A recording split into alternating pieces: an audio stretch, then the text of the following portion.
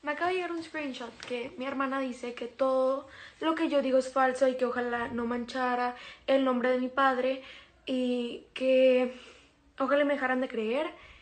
Ok, bueno, si no me quitaron mi casa, José Manuel tiene sus casas en Julián, la verdad.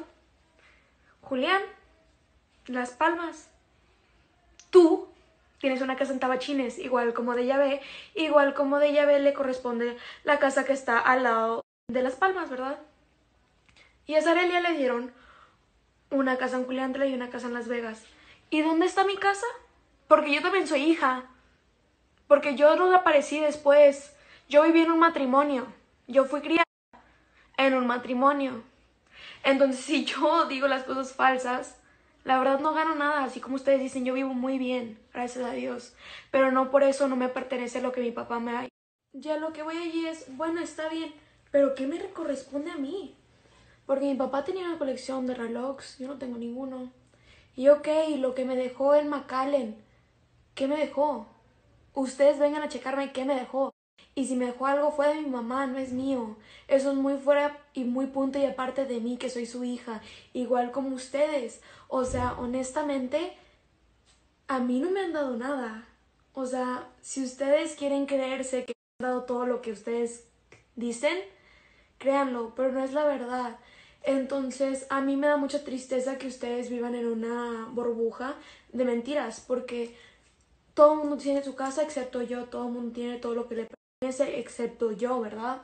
Porque yo no importo, porque yo no, o sea, no merezco, porque mi papá, mi padrastro, vive bien y no necesito nada. No, merezco lo que mi papá luchó y trabajó por tantos años así como lo disfrutas tú, porque yo no? O sea, si al final del día fue mi papá, al final del día, como dije, yo no aparecí de la noche a la mañana ni aparecí cuando mi papá falleció. Yo viajé contigo, viajé y hice y viví con mi papá.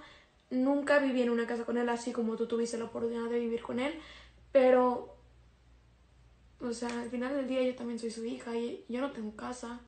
O me vas a decir a mí que mi papá a mí no me dejó nada. O sea, obviamente no. No. Y aunque tú quieras creer que eso es falso, perdóname, pero no lo es. Y yo te quiero pedir disculpas, a lo mejor te llega esto, por ser grosera cuando estábamos chiquitas. Yo ahora entiendo que eso no fue mi problema ni el tuyo, fue un problema que tuvieron nuestras mamás. Y yo te pido perdón por todo lo que yo dije, por todo lo que pasaba y ojalá no guardo rencor hacia ti, simplemente me molesta que digas algo que no es verdad porque, o sea, así como tú, yo soy humana y me duelen todas las cosas que dicen, o sea, ojalá no mancharas el nombre de mi papá. ¿Qué estoy manchando? Simplemente estoy diciendo la verdad. Ya que ustedes la quieran ocultar es otra cosa, pero yo no estoy manchando nada, simplemente estoy siendo honesta. Y siendo honesta, vives en paz.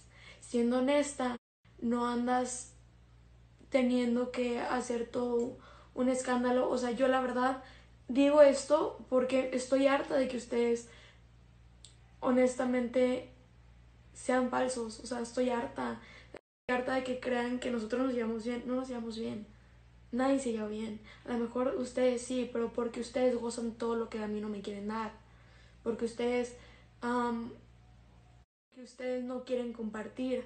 O sea, por favor no me vengan a decir a mí falsa cuando simplemente hablo con la verdad no es la verdad. O sea, y lo peor del caso es que mi seguidora que me mandó vio la fals lo falso que fuiste con ese mensaje, porque, o sea, mi reina, lo que honestamente sientes que no es verdad, no lo contestas.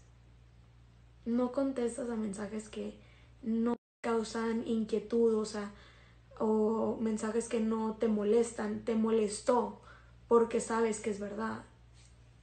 O sea, ojalá y dejara de manchar el nombre de mi mamá y digo de mi papá. Ojalá y ustedes fueran mejores hermanos y repartieran las cosas como debieron ser repartidas. Pero bueno, al final del día lo que yo digo es falso, ¿verdad? Pero eso es lo que yo tenía que decir. Tuve que honestamente, la casa de limoneros es mía. Si quieres te subo las fotos donde Sarelia sale ahí. yo ahí tenía un Yorkie, creo que dos Chihuahuas y un Pomeranio uno se llamaba Shakira, ojalá pudiera encontrar la señora que ahí trabajaba porque esa señora sabía que mi perro estaba ahí, que yo era, estaba en mi casa. Julián me fue a visitar ahí, Marcos, Néstor, mi tío Juan. Si quieren mañana les digo que vengan y que hagamos un en vivo